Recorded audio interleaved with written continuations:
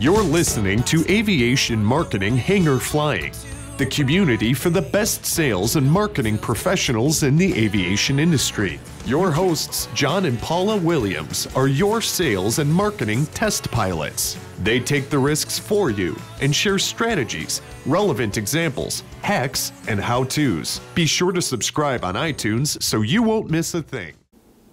Welcome to Aviation Marketing Hangar Flying, episode number 22. Today we are talking about competition, which usually isn't competition, right, John? You'll have to explain that to these people. exactly. Okay, well, this actually started, or the reason that we're talking about this today is because we had um, one of our copywriters who was in the masterclass um, concerned about um, fishing in our pond, I guess we would call it. Um, he said, you know, would you be okay if I approached someone else who's in the masterclass uh, with an offer of my services um, doing copywriting? And of course, the answer is yes, go right ahead. I mean, Um, that's what the whole thing's about, right? Is networking. Exactly. So, you know, if you're in the, the aviation marketing masterclass and you are not getting more business from it, I would be very concerned about that. So, um, you know, that's kind of the whole reason for the masterclass. And, you know, his concern, I totally understand because he does copywriting, ABCI does copywriting. He didn't want to um, feel like he's he's poaching in our forest, as You say. keep using the word copywriting. I keep using the word copywriting. That's because copywriting is a good word. Well, but aviation people tend to not understand that word. Okay. Well, what copywriting is, and I guess this is probably as good a place as any to uh, to explain that. Um, it's basically writing the copy um, or writing the words that show up in your um, marketing materials, and that could be on your website, in your brochures, um, you know, articles. Um, you know, there's lots of places that copywriting. Most happen. people will see it as content. Yeah, so content writing, copywriting, it's really all the same stuff. Um, if you want to get really nerdy about it, then there is a, a field called um, advertising copywriting, uh, where you're actually the purpose of your writing is to sell something, as opposed to like technical writing, where the purpose of your writing is to explain something. Um, but copywriting usually encompasses both of those things, right? See? Now they know. Now they know. Okay, cool. So, um, as much as I appreciate people being very considerate of, um, you know, being sensitive to to uh, other people's territories, if we want to call it that, uh, I am not as concerned about competition, and I think you know that's you share that opinion.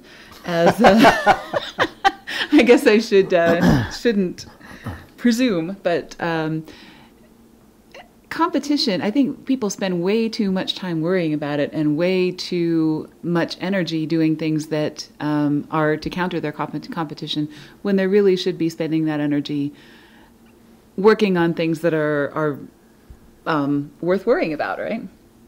Of course. Of course. Okay. So, to that end, we actually got an email yesterday from Mike Stadola, who is the older brother of Jeff Stadola, who also happens to be in the masterclass. You see how this is is going here? Everybody is related to everybody, and everybody is is in everybody's business. Well, um, business related at least. Exactly. Right. So I'm going to read this to you because I think this is a fantastic explanation, and I don't usually read on these things, but this is so well worded that I think this is worth it. So bear with me for just a minute. Think for a second about your favorite restaurant. Got it? Of course. Okay. Now ask yourself when was the last time you went there, and have you been to any other restaurants since you last went there? Okay. Have you? Of course. Okay. Yeah, for most of us, the answer is probably yes.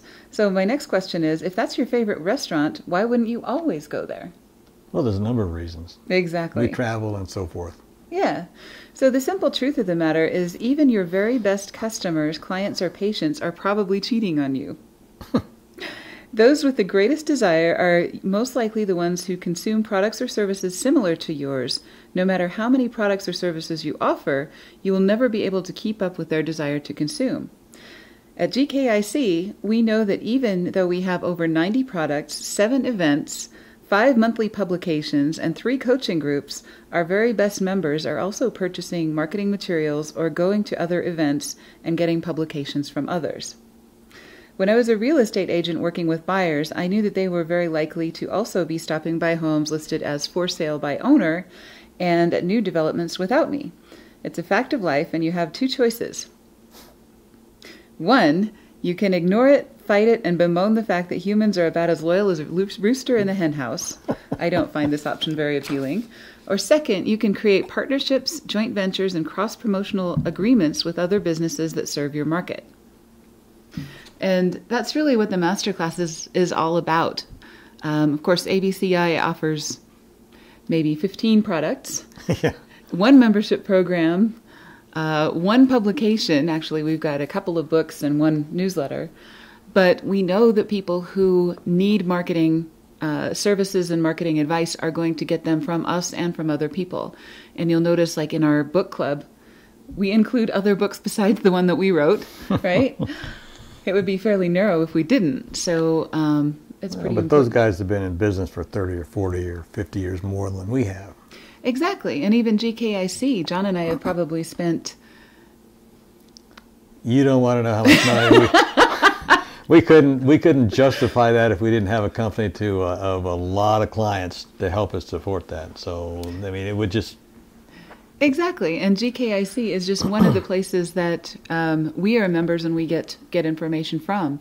Uh, and we've been in a lot of their their groups. We've bought a lot of their publications and things like that. But um, we also use Sandler Sales. We use Infusionsoft University. Um, you know, there's a lot of places. And as you know, I probably read three or four different marketing books a month, new ones, as well as the ones that we have in our uh, our book club. So and the Pacific Institute, and there's a whole laundry list of sales and marketing organizations and, and associations that we are or were members of. Exactly. So you know, do we see those guys as competition? Hardly. Hardly, exactly. So, you know, we don't feel like we're precisely in competition with those folks. And with this particular copywriter who's in the master class, we may be in direct competition for one of our products, but in the vast scheme of things, copywriters are so different from each other. Um, you know, when we are working with a, a client on content, it's often that, uh, you know, our style is not exactly perfect for them. We need somebody who has more of a history background or more of a military background or more of a news background or you know whatever style is is needed uh, for that for that client. So Or even depending on the particular writers' associations, we have a writer who works for Forbes as an example. exactly, and some So- write for other aviation publications, and um, you know depending on the type of of client. Uh, we can't serve everyone. We can't be the best solution for everyone. So um, we like to spread the love a little bit and make sure that uh, everybody's getting the best service, whether that's from us or from someone else. So another example of that is we just put together for um, a, a response for the call for speakers for NBAA, um, a, several companies who create products that look like they may be in competition with each other if you don't look hard enough. Um, Vlog does aircraft digital logbooks. Synapse MX, that's Shane Ballman's company, um, does aircraft maintenance um, software uh, designed for shops to to uh, be more efficient and, and effective. Eagle Cap Software has a Squawk app, uh, which is uh, has a completely different purpose and emphasis. And ATP has their compliance navigator for ADs and, and other kinds of publications that people need. So, are those things in competition with each other? Probably not. Probably not. You know, they um, they really have a different audience and a different purpose. And uh, even when you look at other aviation marketing companies, heaven forbid, you know, um, BDN uh, does a really great job on booths, uh, trade show booths. In fact, I just commented on uh, the Robertson's Fuel Systems booth that they did for um, HAI. They did a really nice job, and it's a beautiful booth.